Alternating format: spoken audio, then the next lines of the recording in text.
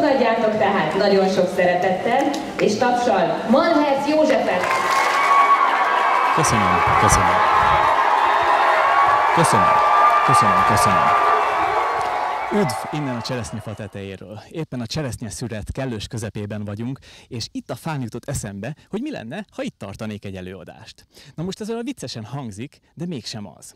Ugyanis arról van szó, hogy a nyilvános beszédben hajlamosak vagyunk megszilárdítani azt a körülményt, amit megszoktunk, hogy akkor hozzunk jó teljesítményt. Na most a nyilvános beszédet először is értékeljük értsük egy kicsit tágabban, mint ahogyan azt sokan gondolják. Ez nem csak azt jelenti, hogy most formálisan egy nagyobb közönség előtt előadást tartunk szépen felöltözve. Nem. A nyilvánosság, a nyilvánosság érzete, az felmerül akkor is, amikor csak egy kamera áll veled szemben. Vagy ott lent valahol, ahol éppen most ez a az én kamerám is vesz engem. Tehát a lényeg, hogy az, amikor a nyilvánosságot tapasztaljuk, akkor ne függjünk a körülménytől, ne függjünk attól a környezettől, ne függjünk attól a kondíciótól, amit mi elvárunk sok esetben, és ez az elvárás lesz a szenvedésünk tárgya, mert előfordulhat az, hogy nem kapjuk meg, hogy nem pontosan úgy lesz, ahogyan mi azt elterveztük.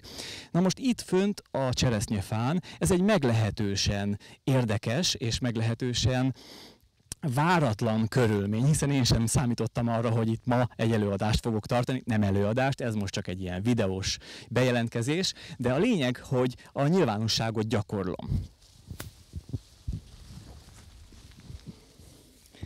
Nos, elég hülyén nézhetek ki a cseresznyefa tetején egy kézi mikrofonnal. Remélem, hogy a szomszédaim nem is látnak engem. Minden esetre ez így formálisabbá teszi a gyakorlást, amely az én tapasztalási tartományomat tágítja.